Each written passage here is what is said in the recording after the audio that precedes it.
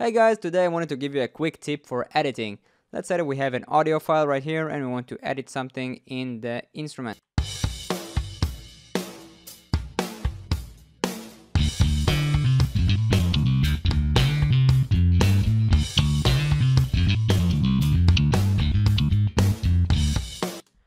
And for example, you want to edit this part real quick, you know, the double click is opening the main edit screen for you or you can mi minimize it to the lower zone.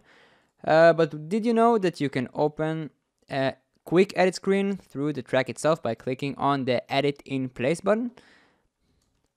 Now this track is working basically like any other MIDI edit screen. Uh, you can change the functions right here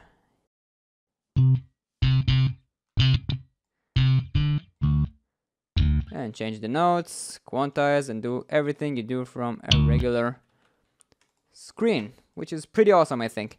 Um, you can choose if you want to use it or not. Uh, in order to get this button right here, right click on the track, track control settings, and then add the edit in place from this list to this one. And that's it, pretty simple. And then you can edit whatever you want real quick. If you press enter, it will close the screen and get back to normal. And then you can switch between these positions. Pretty cool.